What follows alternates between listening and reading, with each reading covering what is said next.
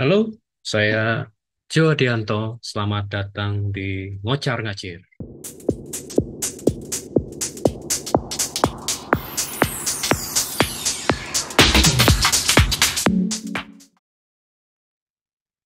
Segmen Ngocar Ngacir ini dibuat dalam rangka mengungkapkan beberapa pemikiran-pemikiran yang mungkin tidak bisa atau belum bisa disampaikan di dalam perkuliahan atau ya sekedar untuk mencurahkan beberapa pemikiran-pemikiran yang mungkin uh, harus segera ter terdokumentasi Ngocar ngacir pada dasarnya adalah ngoceh tentang arsitektur, berbicara tentang arsitektur, dan uh, ngoceh sendiri, berbicara sendiri, dan sifatnya monolog.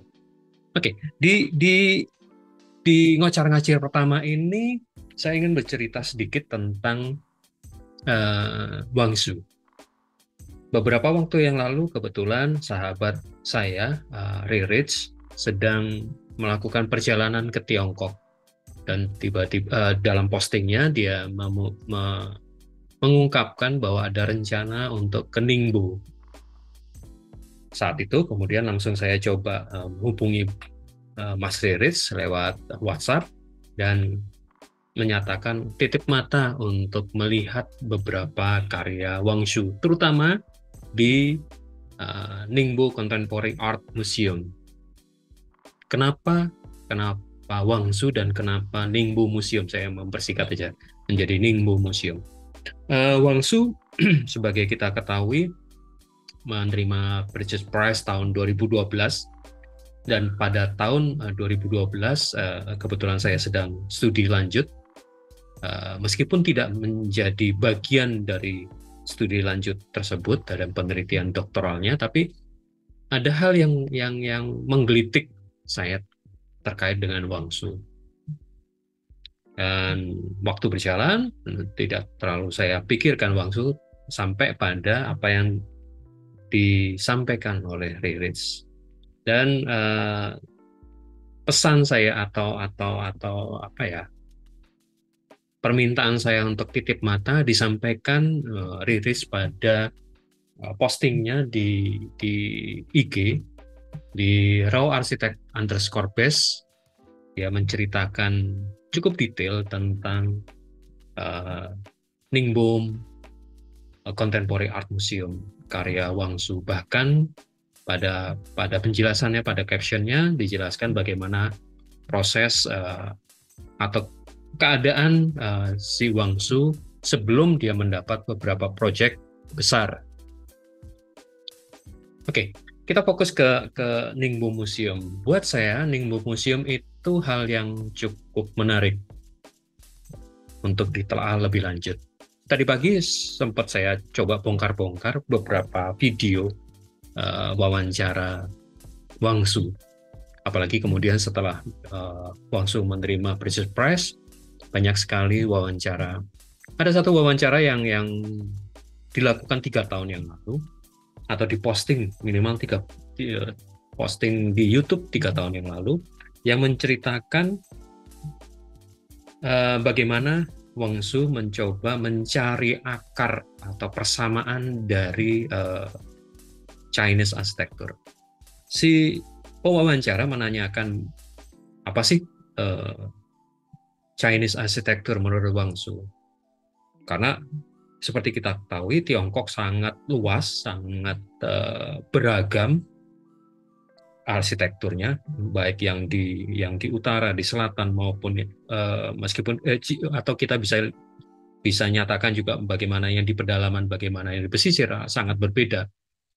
Kemudian Wang Su menjawab bahwa ada ada kesamaan atau ada uh, pemahaman yang sama, yaitu terutama adanya courtyard, tempat berkumpulnya atau tempat bertemunya seluruh anggota keluarga dan orang di luar anggota keluarga.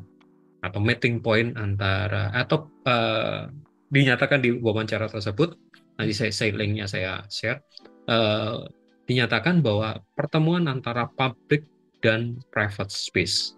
Jadi kedudukan dari dari courtyard itu menjadi semi public dan berada di tengah-tengah uh, hunian atau di tengah-tengah uh, bangunan secara umum kalau toh bangunan itu bukan hunian.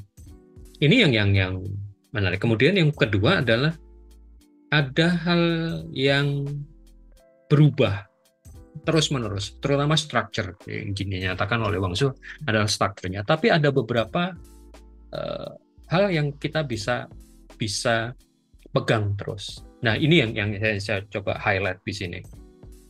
Di Ningbo Museum, Ningbo Contemporary Art Museum, Wang Su coba menerapkan atau mencoba me menyajikan bentukan modern tapi tanpa melupakan uh, apa yang terjadi di masa lampau.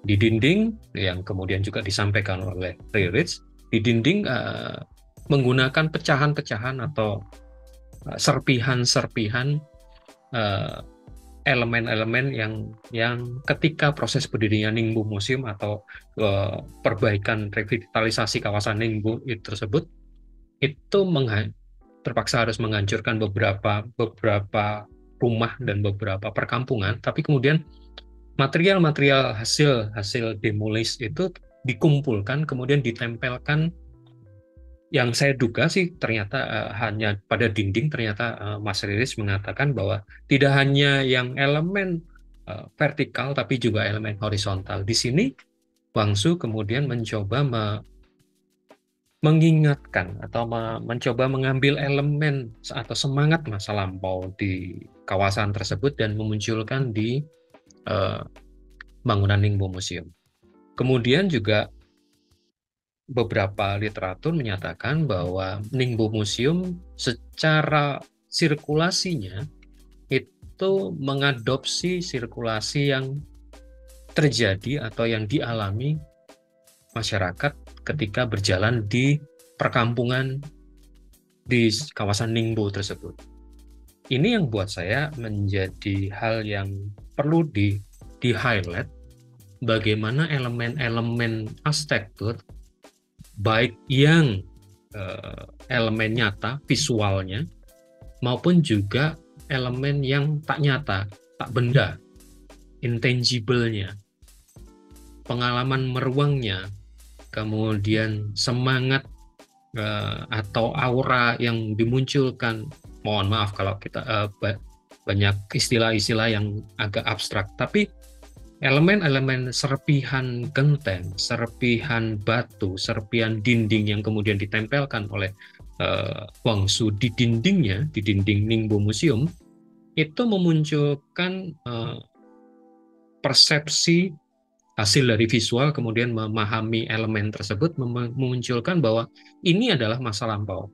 Ini masa lampau yang kemudian ditempatkan di bentukan baru ada benang merah, ada keberlanjutan yang kemudian di, dinyatakan oleh Wang Su sebagai unsur time, unsur waktu yang coba diadopsi, coba di, di, dipahami melalui elemen-elemen uh, elemen-elemen arsitektural dari material material hasil demolis tersebut.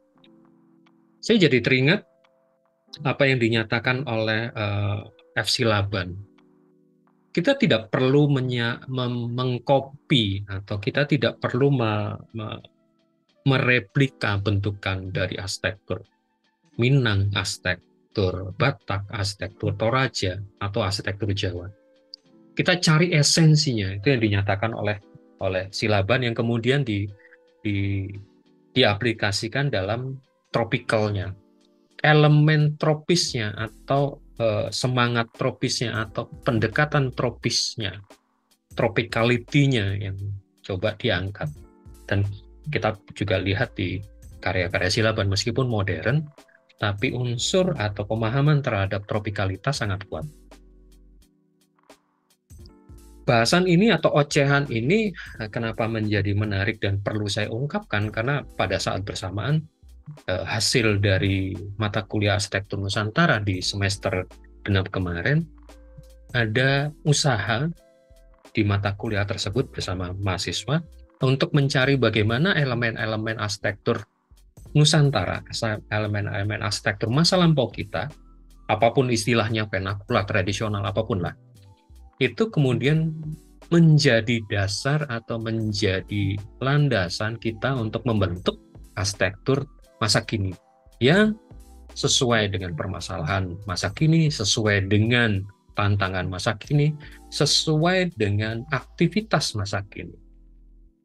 Belajar dari Wang Zhu dan kemudian belajar dari FC Laban, sepertinya bisa bisa mengolah lebih lanjut metode untuk mengkinikan arsitektur Nusantara.